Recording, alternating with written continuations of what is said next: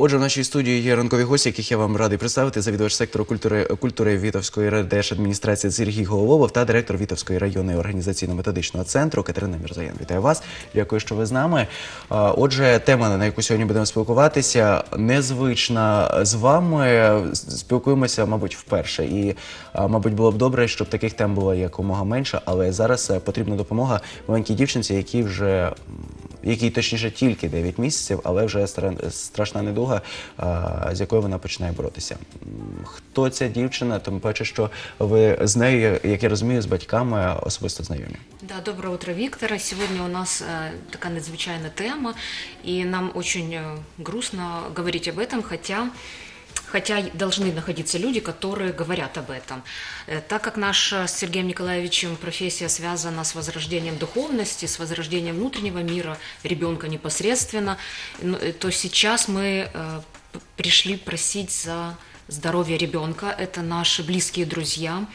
Это малышки, малышка, которая 9 месяцев, и которая еще до начала разговоров, до начала того, как она начнет ходить, говорить, уже борется, бо- борется за свою жизнь.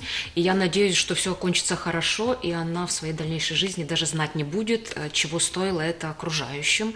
Э, Наша Василиска очень милый ребенок, добрый, ну, как все, собственно, детки. Она, конечно, ничем не отличается от таких же больных деток других, но э, так как волей судьбы это наша близкая знакомая, то мы очень просим помочь нам в этом. Василиса сейчас находится в Киеве. Вчера и начали делать первую химию, и у нас есть большая надежда, что мы сможем собрать достаточное количество денег, чтобы отправить их в Израиль на лечение, потому что на Украине, к сожалению, нет банка, банка донорского костного мозга, а родители и старшая сестра не подходят в качестве донора. Мы очень на это рассчитывали, потому что тогда бы смогли делать э, все манипуляции в Украине. Это, конечно, бы обошлось намного дешевле, и мы бы своими силами все сделали. Но, к сожалению, вот так вот А, сложилось. и, насколько я понимаю, по объявлениям, которые есть и в Фейсбуке, и ВКонтакте, э, об, этом, об этой болезни, заболевании узнали только буквально прошлый понедельник, Да. 13 числа. Да, да, это было 13 числа. А, Василиска захандрила и поставили диагноз ОРВ, ОРВИ. Вот, а потом уже, когда да, сдали кровь, то м, стало ясно. Самое главное, что не запустили э, этот, э, этот процесс, скажем так, потому что иногда бывает так, что на этом ОКРВИ так и останавливаются, и потом понимают о том, что на самом деле была совершенно другая болезнь.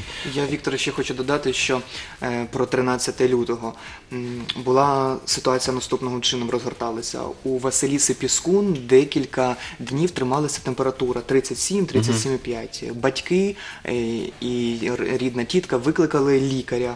Ем, Лікар в поважному віці прийшов, подивився, сказав, що це да, ОРВІ, виписав е, незамисловатий рецепт, щоб батьки його використовували. Але температура не спадала. І тоді вже вони звернулися до поліклініки і почали вже брати різноманітні аналізи.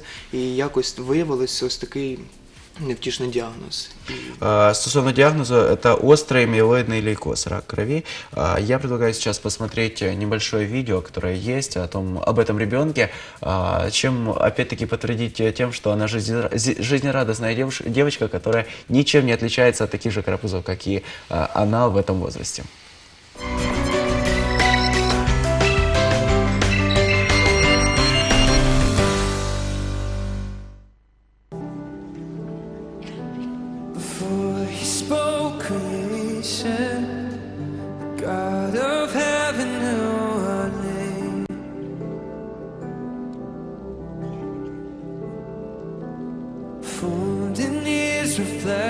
Reflection, we are his glory on display. And his heart is good, he is always kind. With a cross he proved he is on our side. We are the sons, we are the daughters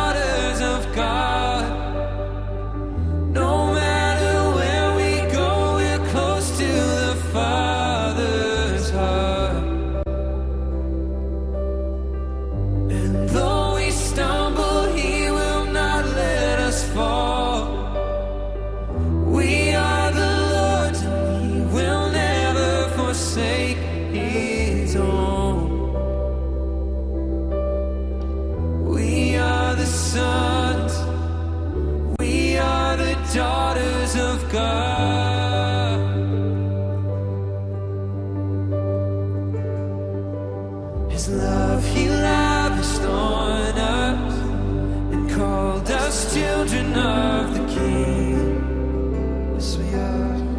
Yes, we are. And in His love and kindness, He chose the lowly and the weak. And His heart is good. He is always kind. With a cross, He proved He is on